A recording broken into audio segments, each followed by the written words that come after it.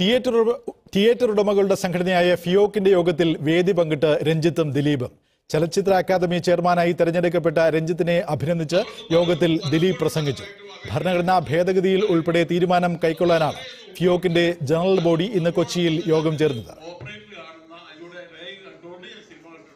അദ്ദേഹം പറയുന്നുണ്ട് നമ്മൾ അനുഭവിക്കുന്ന ബുദ്ധിമുട്ടുകൾ അപ്പൊ അദ്ദേഹത്തിന് അതിലും കൂടുതൽ എം ദിനു പ്രകാശ് കൂടുതൽ വിവരങ്ങളുമായി ചേരുകയാണ്. ദിനു ഇരുവരും തമ്മിൽ വേദി പങ്കിട്ടു എന്നതുൾപ്പെടെയുള്ള കാര്യങ്ങൾ. നേരത്തെയുള്ള ചില സംഭവങ്ങളുടെ പശ്ചാത്തലത്തിലാണ് അതിനൊരു വാർത്താ പ്രാധാന്യം കൈവരുന്നത്. എന്താണ് അവിടെ ഫിയോക്കിന്റെ യോഗത്തിൽ നിന്ന് ലഭിക്കുന്ന വിവരങ്ങൾ?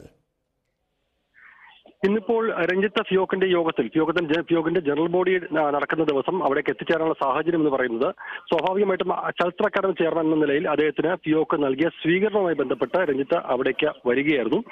സ്വാഭാവികമായിട്ടും നിലവിൽ ഫിയോക്കിന്റെ ചെയർമാൻ എന്ന് പറയുന്നത് ദിലീപാണ്. ആ സാഹചര്യത്തിൽ ദിലീപും അവിടെ എത്തിച്ചേർന്നു. ഇന്ന് ദിലീപ് അവിടെ പങ്കെടുത്തേക്കില്ല എന്നുള്ള സൂചനയാണ് അത് ആദ്യം വന്നെങ്കിൽ കൂടിയും. ഇന്ന് ഇത്തരം ഒരു സ്വീകരണ സ്വീകരണം നടക്കുന്ന സാഹചര്യത്തിൽ അവിടെ ദിലീപും എത്തിച്ചേർന്നു. ഇങ്ങനെയാണ് ഇരുവരും തമ്മിലുള്ള കൂടിക്കാഴ്ചയ്ക്ക് ഒരു അവസരം ഒരുങ്ങുന്നത്. ഏതായാലും തിയേറ്ററുകാരുടെ പ്രശ്നം സർക്കാരിന്റെ മുന്നിലുണ്ട് എന്നുള്ളത് ശ്രദ്ധയിൽപ്പെടുത്തിയിട്ടുണ്ട് എന്നുള്ളത് രഞ്ജിത്തും. അതോടൊപ്പം തന്നെ ഈ സ്ഥാനത്തേക്ക് അക്കാദമി ചെയർമാൻ സ്ഥാന- സ്ഥാനത്തേക്ക് സർവതാ യോഗ്യനാണ് രഞ്ജിത്ത് എന്നുള്ളത് ദിലീപും പറഞ്ഞു. അതിനപ്പുറത്തേക്കുള്ള ഒരു പരാമർശം ഒന്നും ഇരുവരുടെ ഭാഗത്തുനിന്നും ഉണ്ടായില്ല. നേരത്തെ നമുക്കറിയുന്നത് പോലെ തന്നെ നേരത്തെ ദിലീപിനെ ജയിലിൽ പോയി പോയി കണ്ടതുമായി ബന്ധപ്പെട്ടുള്ള വിഷയത്തിൽ രഞ്ജിത്ത് നിലപാട് വ്യക്തമാക്കിയിരുന്നു. അന്ന് ഒരു താൻ നേരിട്ട് പോയതല്ല മറ്റൊരാൾ പോയപ്പോൾ കൂടെ പോയതാണ്. ആ സാഹചര്യത്തിൽ മാധ്യമങ്ങളെ പേടിച്ച് മാധ്യമങ്ങളോട് പ്രതികരിക്കാൻ എന്നത് ഒഴിവാക്കുന്നതുമായി ബന്ധപ്പെട്ട് ആ സാഹചര്യത്തിൽ അപ്പോൾ ദിലീപിനെ ജയിലിനുള്ളിൽ പോയി കണ്ടു എന്നുള്ളതായിരുന്നു അന്ന്. രഞ്ജിത്ത് അന്ന് നടത്തിയ പരാമർശം. ഏതായാലും അതുമായി ബന്ധപ്പെട്ടാണ് ഇപ്പോൾ ഈ ഒരു ദൃശ്യത്തിന് അല്ലെങ്കിൽ ഇരുവരും ഒരുമിച്ചിരിക്കുന്ന ഒരു ദൃശ്യത്തിന് വാർത്താ പ്രാധാന്യം കൈവന്നതും അതിനപ്പുറത്തേക്ക് ഒരു പ്രതികരണമൊന്നും ഈ ഘട്ടത്തിൽ ഉണ്ടായിട്ടില്ല.